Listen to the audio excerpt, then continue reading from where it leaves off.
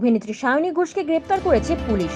ত্রিপুরা রাজ্যে পৌর নির্বাচনী পরিস্থিতির মধ্যে আগরতলা পূর্ব মহিলা থানায় জিজ্ঞাসাবাদ শেষে রবিবার বিকালে সায়নীকে গ্রেপ্তার করা হয় বলে জানিয়েছে ভারতীয় গণমাধ্যম।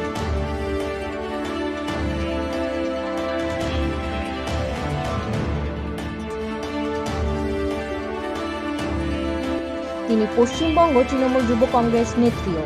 ভারতীয় গণমাধ্যম জানায়, ত্রিপুরায় তৃণমূল কংগ্রেসের সাধারণ সম্পাদক অভিষেক বন্দ্যোপাধ্যায়ের রাজনৈতিক কর্মসূচির আগে রোববার রাজনৈতিক প্রচারে অংশ নিতে আগরতলায় যান যুব কংগ্রেসের নেত্রী সায়নী।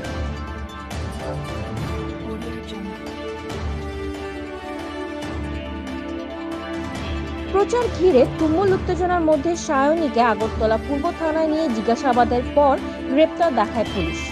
সায়নের বিরুদ্ধে পুলিশের অভিযোগ, আসামের মুখ্যমন্ত্রী বিপ্লব দেবের সভার পাশ দিয়ে যাওয়ার সময় জোরে গাড়ি চালিয়ে মানুষকে মারার চেষ্টা করেছিলেন অভিনেত্রী।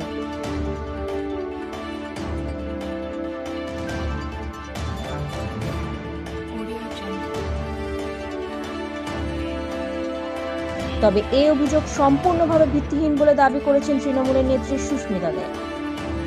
এদিকে সকাল থেকে এই ঘটনাকে কেন্দ্র করে উত্তপ্ত ছিল পূর্ব আগরতলা থানা চত্বর।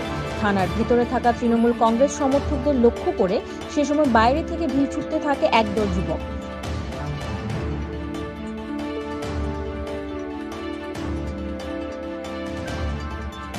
এতে আক্রান্ত হতে হয় বেশ কয়েকজন তৃণমূল নেতাকর্মীকে, এমনকি আক্রান্ত হতে হয়েছে পুলিশকেও।